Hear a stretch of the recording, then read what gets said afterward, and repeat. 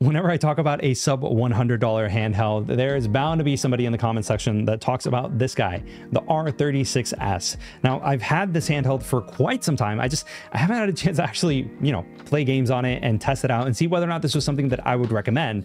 And now that I've finally had some time to actually form an opinion and whether or not this was something I would recommend, I've got to say that there are a lot of things that are working for this handheld, but there are definitely some things that you should take into consideration if you're considering getting getting an R36S for yourself. Now you can find this handheld in several places online, but the main places that I recommend people go to are either AliExpress or Amazon. AliExpress, of course, you can find it relatively inexpensive in comparison to the resellers on Amazon. On AliExpress, you're gonna find it for anywhere between 40, 45, sometimes even $50. And in most cases, you do get free shipping with that. On Amazon, you are going to have resellers that go ahead and, you know, pretty much resell whatever it is they, they buy and you're going to find it for anywhere between 79 and 89 dollars. But the beauty of it is that you do have prime there and the return process through amazon is relatively quick. And uh, aside from you know taking it to a ups store or whatever it is that you're going to return it to whole foods or whatever it's uh, relatively seamless. With aliexpress you do have returns that you know you can do but it's just a longer more tedious process at least in my opinion. In terms of the colors that are available you you do have an all white option, which is cool just to kind of have that all white look, but they also have a transparent purple and they have a transparent black, just like the one that I went for for my unit. Now, I do have to say, I love the design of this box. I mean, it's pretty cool. It's full of character. And I mean, Goku's literally just chilling there right on the front. Um, I do have to say that on the inside though, it was pretty straightforward. I was expecting this to be kind of like wrapped in plastic or something, kind of like the Anbernic devices, but this was just literally chilling there with a little bit of foam on top. Underneath that though, you are going to find an R36 manual, which underneath it says the RGB20S instructions. And after a little bit of research, seems that the R36S literally ripped off the RGB20S. And I'm guessing that's how China, you know, free market works over there. Um, but underneath that, you are also going to find a screen protector with a couple of wipes to prep that screen for installation, and then a USB-A to USB-C cable for either, you know, data management or just plugging it in to charge. In terms of specs, you're going to get the Rockchip RK3326 as well as one gigabyte of DDR3L RAM. The screen is 3.5 inches and is 640 by 480, and the battery that you get is a 3200 milliamp hour battery. Now, I will say that on the back of the box, it does say that this handheld does support 2.4 and 5 gigahertz Wi-Fi, but in my testing, that just didn't happen. I don't know if that was just an error on my part, but I also decided to go ahead and use a USB dongle to see if I could get some Wi-Fi, and it just didn't register at all. All right, let's do a quick tour of this handheld. So on the front side, you're gonna find this D-pad that's right here and the D-pad feels fine. I do want to go ahead and say that it just feels like that pivot that's there isn't that great, especially in comparison to the RG35XX or even the Miyoo Mini Plus. It just, I don't know, leaves a little bit to be desired. Now, when you do go ahead and go into a regular direction, one of the four up, down, left, right directions, it's fine. But when I try to go ahead and do a diagonal for any reason, I just have issues uh, with that kind of just register registering. You are going to have two analog sticks that are here that are very reminiscent of the Joy-Con joysticks. You have start select button and function key as well as your mono speaker. And then you also have these face buttons that actually feel really great for the price point. I'm actually kind of surprised with how nice they actually feel. On the back side, you're going to have your R1, R2, as well as your L1, L2. And this at first, uh, when I first saw it, I thought that it was going to be exactly like flush, like it's going to be very reminiscent of the RG35XX. But when I actually started using it, I noticed that there's a little bit of a raise on your L2 and your R2, it just feels a little bit more comfortable and ergonomic because of that raise. With the RG35XX, it's just a straight line. You just have nothing to, you know, kind of like grip on and you kind of have to go ahead and have like a really hard like angle in order to play the game. But here you can rest it and it's a little bit more comfortable because your uh, L2 and R2 are raised up a little bit in comparison to everything else. On the right side, you are going to have your volume rocker as well as this, this SD card that's right here is actually meant for your OS. On the left side, you are going to have this SD card that is meant for all of your games. You have a power button and restart button. And on the bottom side, you have uh, your 3.5 millimeter jack as well as your DC. This is meant, this USB port is only meant for charging, nothing else. The OTG uh, USB port that's here is meant for transferring files or data transfer. I don't really know what these uh, holes are for. Um, I guess maybe ventilation. I don't really know.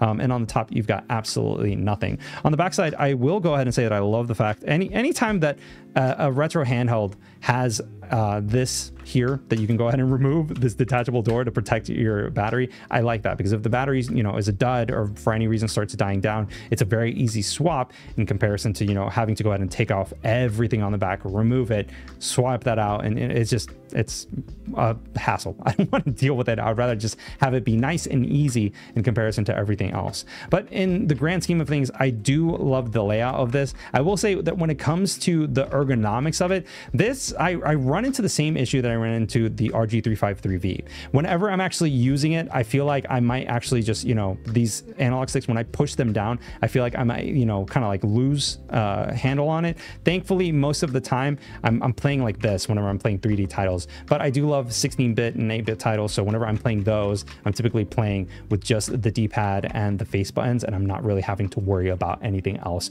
when I'm playing these games. When it comes to the R36S, there really isn't that much that I own personally that I can compare it to. The closest thing that I have that I can compare it to in terms of ergonomics and everything is actually the RG353V from Anbernic. Uh, I mean, it's pretty similar in terms of like how it feels and everything. I like I said earlier, I do like the fact that these actually these buttons actually kind of lead towards like a little bit of a curve. I just prefer curves over like this flat stuff that's here going on. Like I just, I don't know. I like to have like an actual grip and feel things feel ergonomic.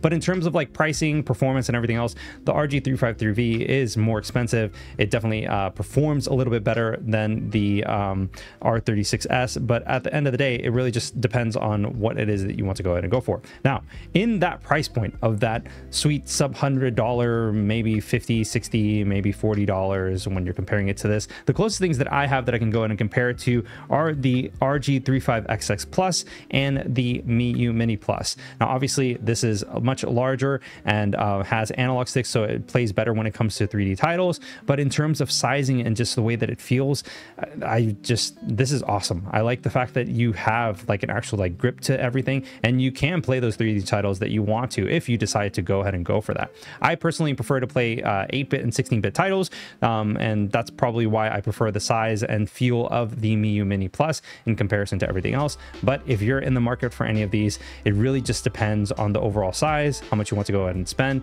and the feel and which games you are going to be playing in contrast to everything else.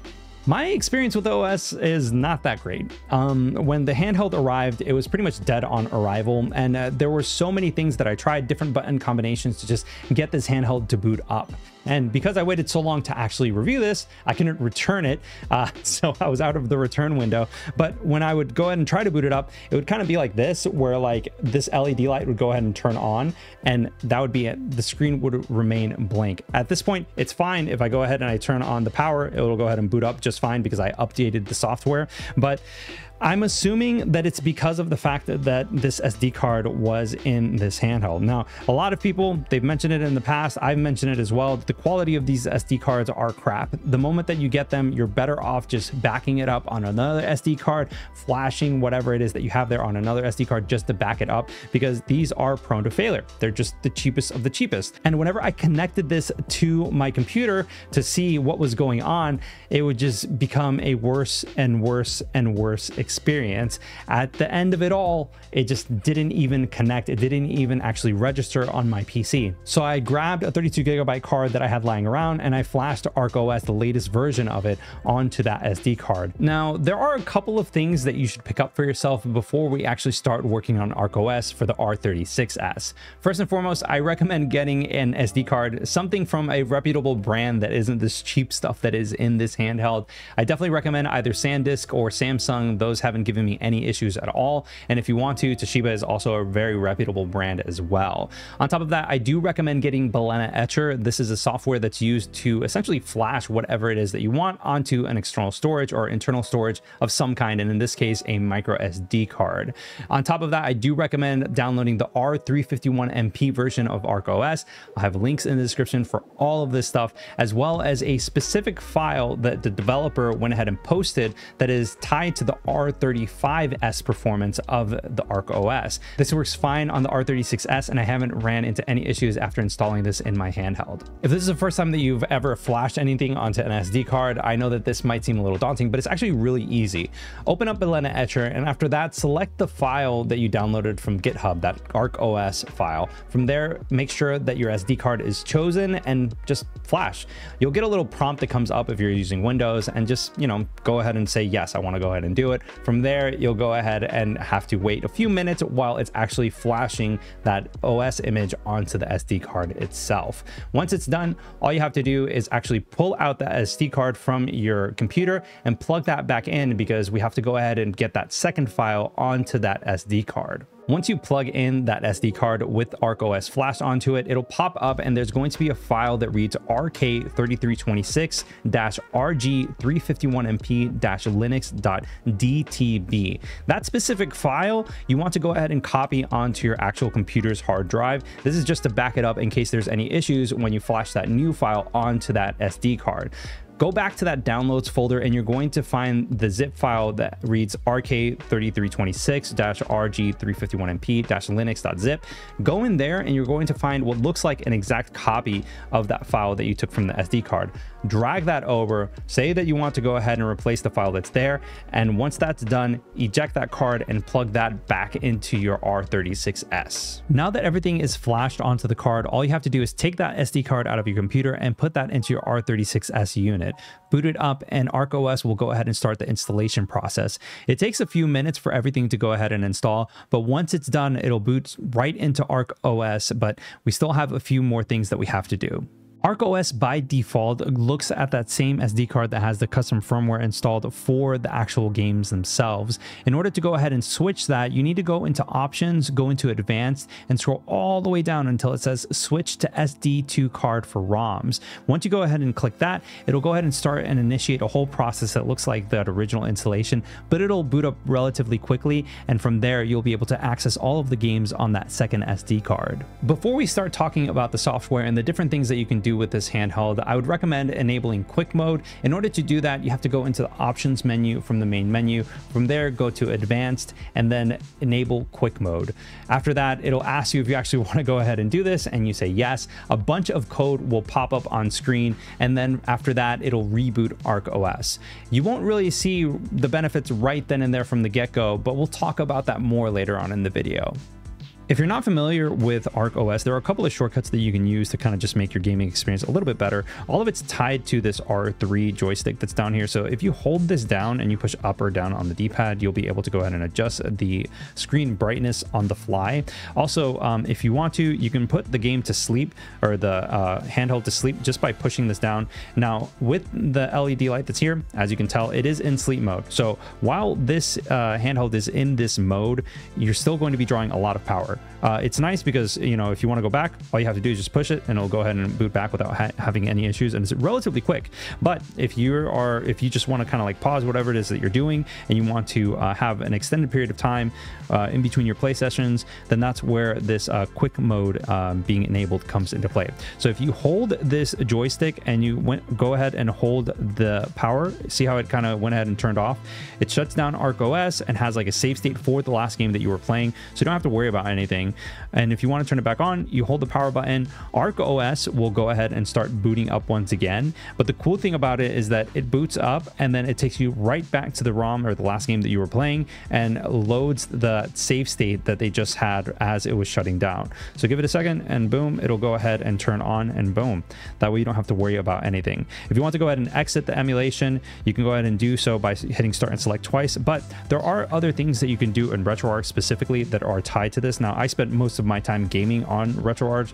So um, if you want to go ahead and do specific things there, you can. For example, bring up the menu, you just hit, push select and uh, X and it'll go ahead and come on and off. And then after that, if you want to go ahead and pause the emulation, you can hit select and A and it'll uh, do that push it again to unpause. If you want to uh, create a save state, all you have to do is hit select and R1 and there's your save state. And if you want to go ahead and load that save state, select and L1 and it'll go ahead and load the save state that you have right then and there. If you want to re uh, reset or restart the emulation for any reason at all, just select NB and boom, it'll go ahead and it'll just reset. And again, we can just load right back in where we were.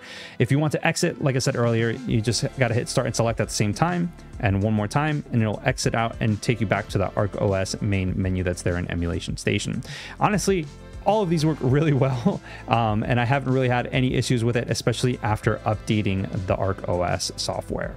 Now, obviously, if you want to go ahead and get this handheld for yourself, you want to play some of the games from your childhood on here or experience new titles that you missed out on in your childhood. The experience of playing some of these games on this handheld varies depending on which platform it is that you're going to be emulating. Obviously, things that are 8-bit, 16-bit titles, they just, they run fine. You don't have anything to worry about. We're talking about Nintendo, Super Nintendo, uh, Game Boy, Game Boy Advanced, uh, Sega Mega Drive, um, even some of the titles that are there for PlayStation just they run fine. It isn't until you actually go into heavier hitting titles on the PlayStation or uh, Dreamcast, N64, even some PSP titles kind of make this handheld uh, go onto its knees. It just has a rough time uh, processing and rendering some of the images that are there. Now, don't get me wrong, on the PSP, there are some titles that run just fine. For example, I was playing Soul Calibur on there, no issues at all whatsoever. But when I started playing Tekken Dark Resurrection on PSP, I started running into a couple of problems. I had frame skipping turned off in PPSSPP, and then when I started playing, it just was all over the place in terms of performance. I would start a match and it would drop all the way down to 20, 30 frames per second when it's supposed to be a smooth 60. And eventually the emulator was like, hey, listen, you're losing a lot of frames and there's poor performance. Maybe you should try turning on frame skipping, which I did, and that actually helped a little bit. But even still, the emulator as well as the handheld had a tough time reaching that 60 FPS mark and staying up there. But when it came to N64 titles, that's where things kind of just I don't know, got a little wonky. But this is because RetroArch is actually the one that's emulating N64 games in it instead of a standalone emulator that is included on this handheld. In order to switch that to get a better experience, you want to go ahead and push start while looking in the N64 menu, go to emulator settings, and then from there you can change the emulator to standalone Rice. This will provide the best experience possible for roughly almost all of the games that are there. Now, obviously, it is still going to run into a few problems just because of hardware limitations, but the overall experience is going to much better than using RetroArch. When it comes to Dreamcast, that's where things kind of just go ahead and slow down to a halt. I mean, it's difficult for some of the games that are there to hit that 30 FPS mark. When I was playing Crazy Taxi, I just had issues going to and from. It was almost constantly around 25 to 28 frames per second. And even with everything going into that game, it was still fun. It was still enjoyable. But if you want a smooth experience, you're just not going to get it when emulating Dreamcast titles on this handheld. So obviously when it comes to playing 3D or at least heavy 3D titles, this isn't something that I would recommend for this handheld. But if you are going to be playing some of those titles on N64, Dreamcast, and so on and so forth that are from that era, you would probably want to stick to 2D titles. It's just, they run better unless you're okay dipping into that 30 FPS or even lower to that mid 20 FPS for some of these titles. If you're okay with, you know, that, then you're fine. Go ahead and go for it. For me personally, I prefer to have the smoothest experience possible. So if I can get 60 FPS, on some of these titles, I'm going to go ahead and go for that when I'm playing on these. Now, I've said this before on the channel, and I'll say it again. I prefer to play 8-bit and 16-bit titles on these retro handhelds more than anything else, but it is definitely nice to be able to go ahead and play some of those titles from PS1, N64, Dreamcast, and PSP on this handheld, despite at least for PSP, some titles just being phenomenal, while others not running well at all.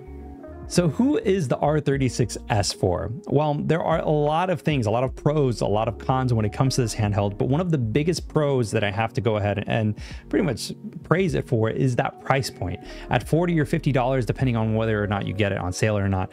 Like this is just it's too hard to ignore. And the quality that you get for that price point just again too hard to ignore. Obviously, this is something that I would recommend to somebody that is starting to get into retro emulation and wants to kind of learn a little bit, tinker a little bit. But even still, for a seasoned pro or somebody that is used to everything, this is honestly a solid go-to experience. Now, this is not without any caveats. I want to go ahead and let you know that there are some instances that you might run into problems. For instance, my unit just came and it was dead on arrival. So if you're afraid of tinkering with things or afraid with messing with things, this might turn you off from any further retro handheld emulators in the future, even if it does interest you. So if you're willing to go ahead and part with 40 or $50, this is definitely something that I would recommend recommend to anyone that is interested in retro handheld emulation. So what do you guys think of the R36S? Is this something that you're interested in? Is this something that you already have for yourself? Or do you have any tips and tricks that you can share, not only with me, but other people in this community? Let me know in the comments below. I'd love to hear your thoughts on things. And if you want to hear my thoughts on the RG35XXH, click this video over here. And if you want to hear my thoughts on the RG35XX Plus, then click this video over here. And until next time, guys, I'll see you on the next one. Peace.